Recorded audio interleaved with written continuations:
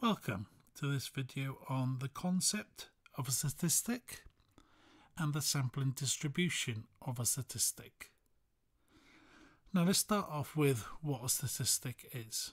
So any characteristic of a population which is measurable is called a population parameter.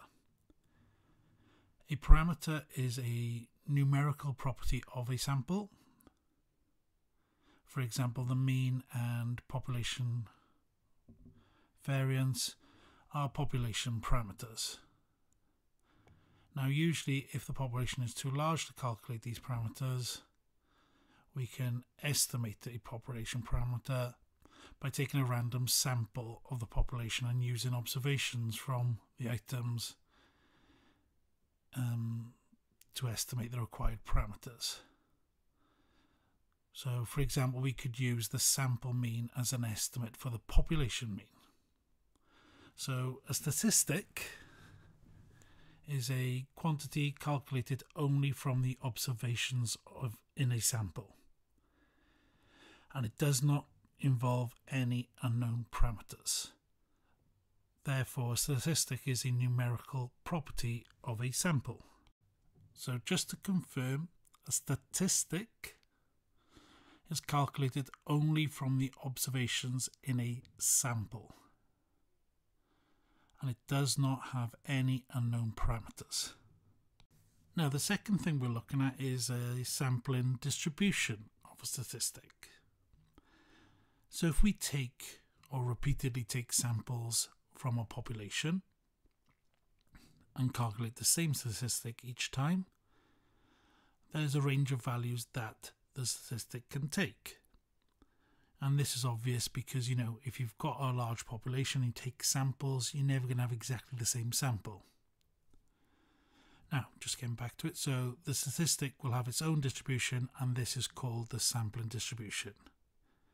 So, in short, you know, we take many samples of a population, calculate the same type of statistic each time, and that will have its own distribution which is called the sampling distribution.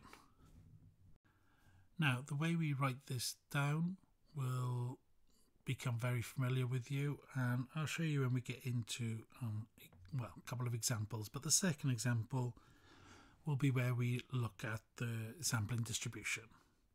So let's get on to the first example simply about the statistic or the concept of a statistic. So part A here is define a statistic. We have already done that. It is simply a quantity calculated only from the observations in a sample. Now, part B asks, for each of the following state whether or not it is a statistic. So let's look at the first one. The first one is essentially a mean, isn't it? x2 plus, sorry, x3 plus x5 plus x9 over 3. Now, those x are, as we can see up here, a random sample taken from that, isn't it? So this is going to be a statistic. Looking at the second one, well, this is looks like the variance. And the variance is taken from here, so it will also be a statistic. Now, when I look at the way this one's written, we do have a little bit of a problem. This mean here is unknown.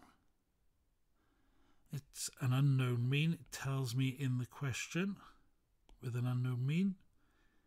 If we don't know it, it cannot be a statistic, can it? Because that was one of the definitions of it.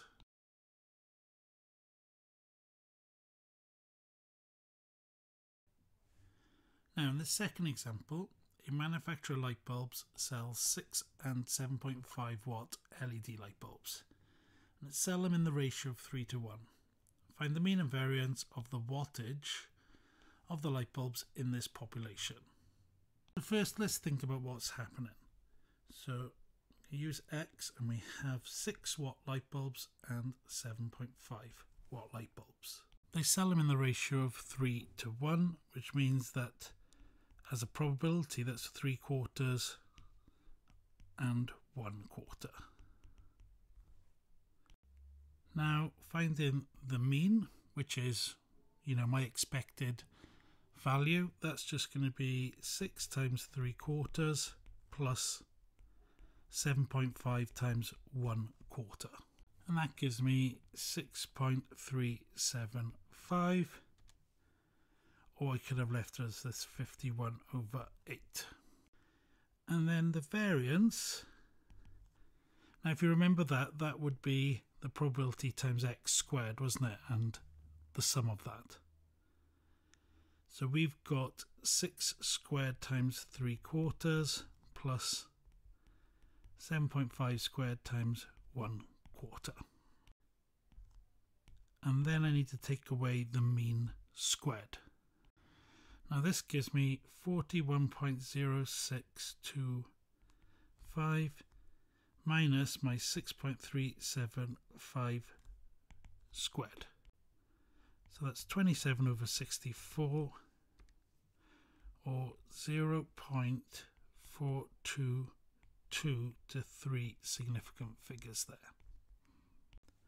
Now, a random sample of three light bulbs is taken from a store containing bulbs in this ratio, so still in the ratio 3 to 1. List all the possible samples. So if we take in 3, we could have taken 3 lots of 6. We could have taken a 6, a 6 and a 7.5. And of course there's three different variations of the way that that could have happened we could have taken a 6 and two 7.5 light bulbs. And again there are three different variations in which or combinations in which that could happen. And then finally there could be three 7.5s so here we have you know one two three four five six seven eight different possible samples. And that's what's going to help me with my probabilities. So here we have find the sampling distribution of the mean of x. So I want to look at these, each of these, and find the mean. So if I think of this first one, 6 plus 6 plus 6 divided by 3 is going to have a mean of 6, isn't it? My second 3 here we got two sixes and a 7.5. That gives me a mean of 9.75. Then we have a mean of 10.5 and finally a mean of 7.5. Apologies, I realised straight away I made a mistake here. It should be a mean of 7. Just divided by 2 instead of 3 like an idiot. So those are all my means.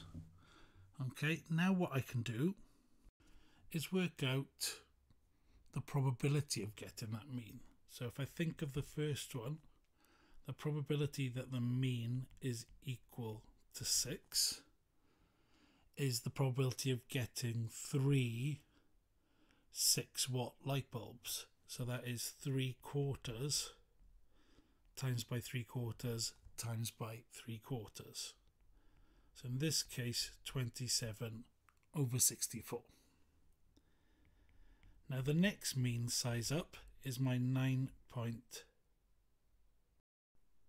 Sorry, I just realised silly mistake there.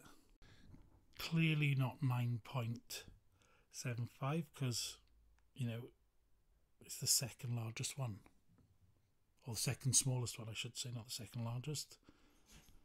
So that was really stupid of me there, but good job I noticed. So 6.5 is what we should have here.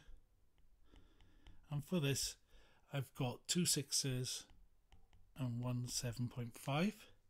So that means three quarters squared times one quarter. And I have three of them. So I'm going to times that by three.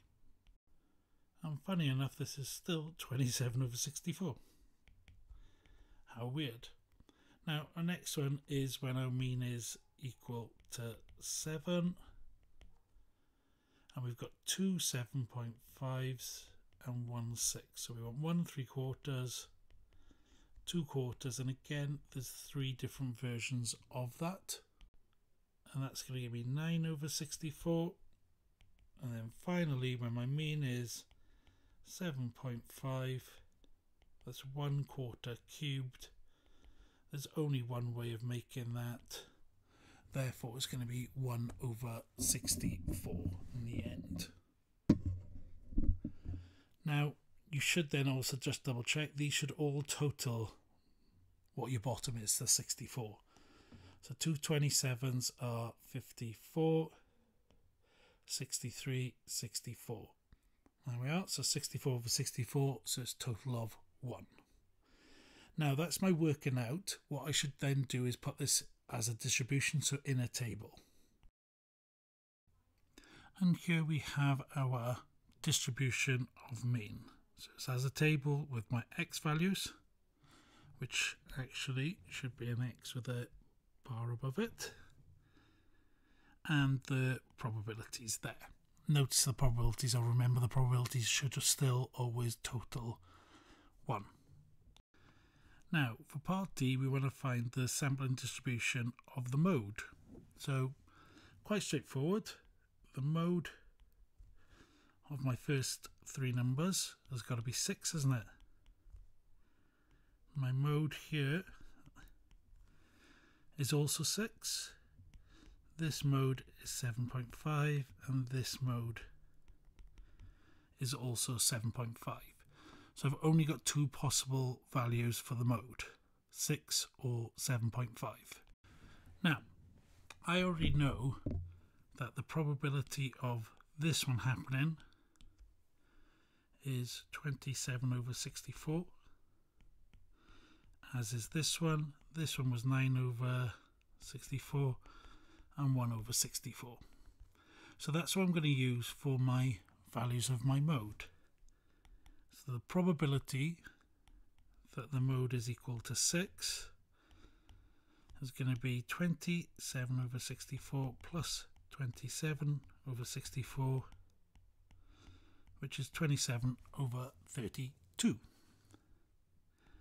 and the probability that the mode is 7.5 is 9 over 64 plus 1 over 64 which is 10 over 64 or 5 over 32. These two total 32 over 32 or 1. So we know we are good there. Now I want to find or write this as a distribution. So again, I'm going to put it as a table. And there we are, complete. This final two steps of part C, part D, this is where people tend to go wrong. So just have a careful look at this before trying a few of the questions yourself. And as I always say, you know, the answers will be at the end of the video. And if you found it useful, please hit the like, subscribe if you haven't already done so, and consider hitting the bell icon to let you know when the next video comes online.